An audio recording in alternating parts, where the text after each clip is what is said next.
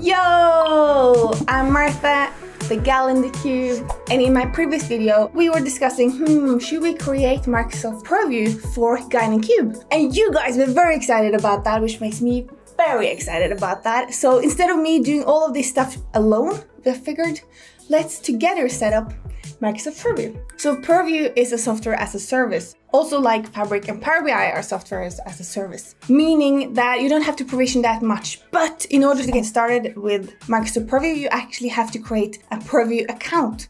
And you do that inside Azure Portal. But you know what? Enough of all this talking. You know what I like to do? Let's head over to my laptop. So you go to portal.azure.com and essentially you just go into Purview you find Microsoft Purview accounts, and this is where you have to create an account. You can only create one tenant-wide Purview account. Click Create Purview Account, and then you choose a subscription that you want to use. I'm going to use the Adam one because I think Adam can pay for this. And I'm going to choose my own resource group. Obviously, you should create resource groups that make sense to you. I'm going to give it a Microsoft Purview account name. Now, the name we give it here is what you programmatically use to access the account. So you need to think about this. You need to be like, don't just give it like testing or I mean, you can, but don't do that. And of course, when you're working inside of a tenant, you should have these beautiful naming standards, right? So that that's how you create things. I'm not sure we actually have that at Guy in a Cube. So I'm gonna create one now. I'm gonna write Guy in a Cube catalog. That's going to be our name. And the location is going to be the same location as your tenant. So that's East US for us.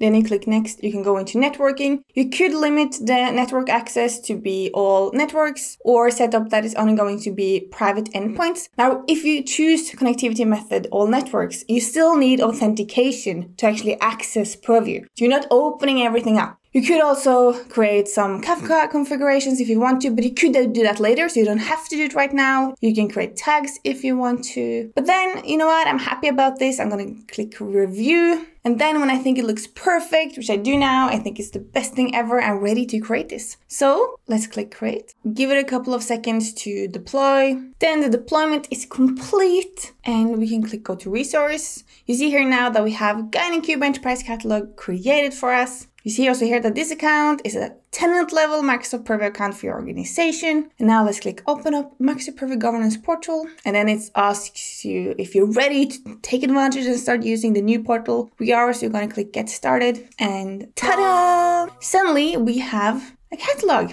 with all these different solutions we can look into. We can click explore. Wow. There's so many things that we can now dig into and look into. Now, the next step would be to actually connect Purview to Fabric in order to scan everything and pull it into Purview so that I can see things, understand things, discover things, ask Adam and Patrick questions about things, and just make life easier. Now, I need to know if you like this video, if I'm going to continue on this path with Purview. If you liked it, hit the like button on this video. Remember to click subscribe if you want to see what we're going to do next. And of course, as always, remember to check out the awesome videos from Adam, Patrick, and myself from Guy in a Cube.